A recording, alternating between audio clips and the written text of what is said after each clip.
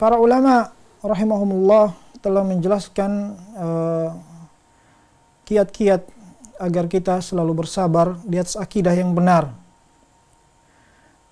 Apalagi kita berada di satu zaman yang fitnah semakin meluas.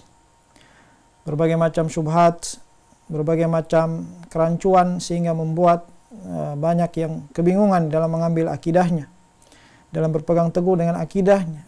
Yang pertama tentunya hendaknya kita doa kepada Allah, bersandar kepada Allah, memohon kepada Allah taufiknya dan doa doa kita kepadanya.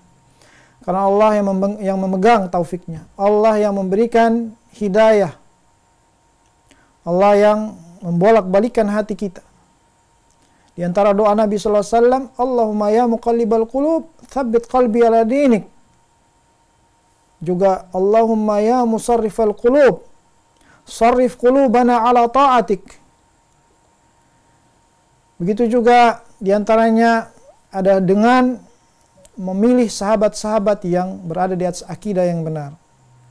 Ini kita selalu mengambil teman-teman yang baik, teman-teman yang berada di atas akidah yang benar.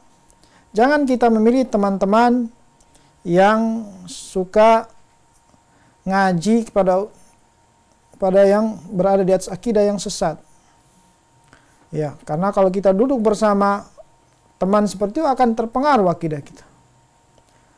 Rasulullah Allah Subhanahu wa taala katakan untuk senantiasa kita bersabar wasbir nafsaka ma'al ladzina yad'una rabbahum bil ghadati wal ashi yuriduna wajha bersabarlah bersama orang-orang yang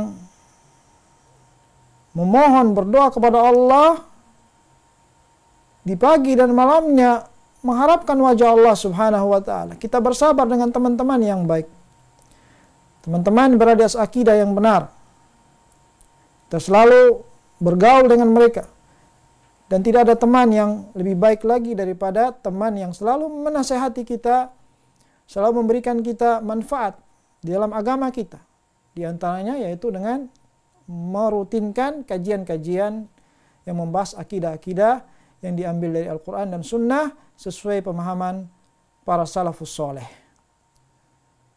Begitu juga yaitu kita di antara kiat-kiatnya untuk selalu